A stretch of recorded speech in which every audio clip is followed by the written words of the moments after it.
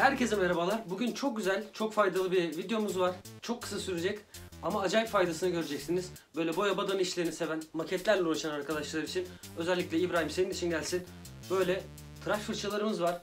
Böyle köpürtmek için kullanılan eski arkadaşlar bilir, yeni arkadaşlar çok bilmiyor olabilir. Ama o köşe hiç güzel olmamış. Neyse. Şimdi bunu kullanacağız. Bunu parçalayacağız. Eski fırçaları sökeceğiz.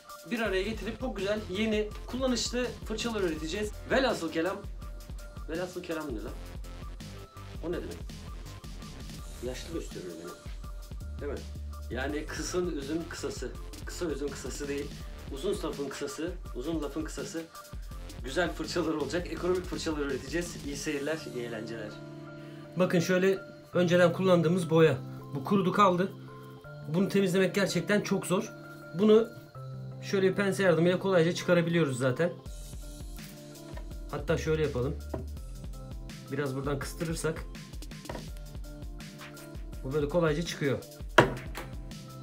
Artık boş bir çubuğumuz var. Bunun kendi kalınlığınca tıraş fırçalarımızdan ben şundan keseceğim. Şöyle toplayıp bir tutam kılı keseceğim.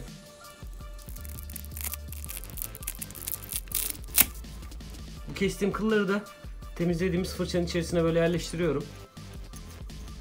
Fırçanın ucuna ne kadar çok kıl koyarsak o kadar sert oluyor. Bunu tabi böyle yerleştirdikten sonra tekrar pense yardımıyla sıkıyoruz. Bu böyle löp diye yerleşiyor buraya. Böyle kıyıdan köşeden fırlayan varsa onları tek tek çekip çıkarabilirsiniz. Böyle düz bir zemin oluşması gerekiyor. Tabi şu fazlalık uçlar boya yaparken kötü etki bırakabilir. Yine onları da bir makas yardımıyla düzelteceğiz.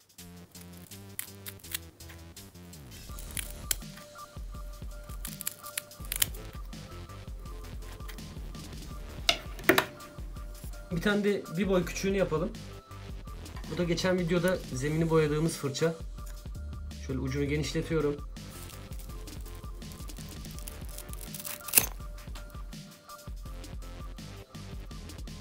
Bu sefer biraz daha uzun tutacağım.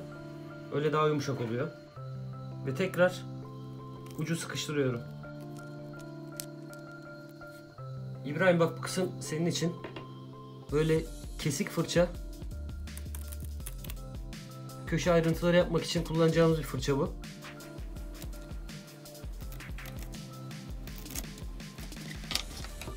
Böyle kesik halde kullanacağımız fırçalar köşelerdeki ayrıntılara çok daha kolay girer.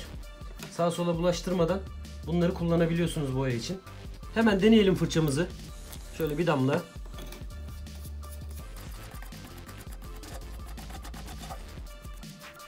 Güzel de boyuyor.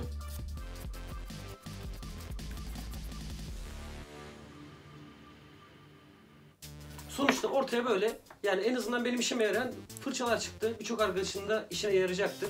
Artık hassas işlerle uğraşan şey va- varsa yani diyorum ki hassas işlerle hassas işlerle uğraşanlar varsa belki onların işine yaramaz. Neyse artık lafı uzatmayalım. Başka videoda görüşmek üzere. Kendinize iyi bakın. Hoşçakalın.